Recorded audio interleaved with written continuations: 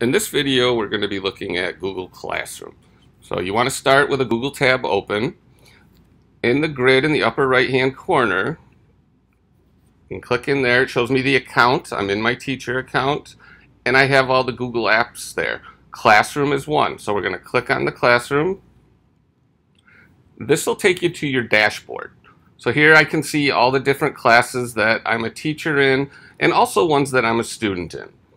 So on the side, if you click the three little bars, here you can see these are the classes I'm a teacher in, and then down below, this classes that you are enrolled in, meaning you are a student.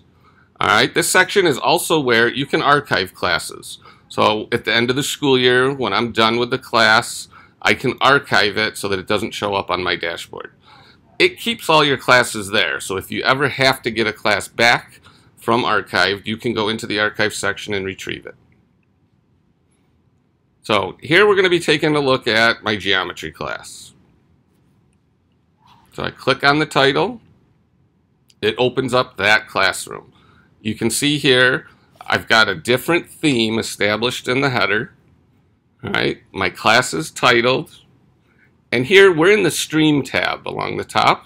So these are all announcements that go out whether the teacher posts an announcement directly or every time you put in an assignment, it'll put in an announcement for students to see that.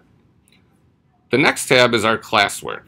So if we click on that, you can see here I've got some units developed. So those are topics I create to keep my work organized.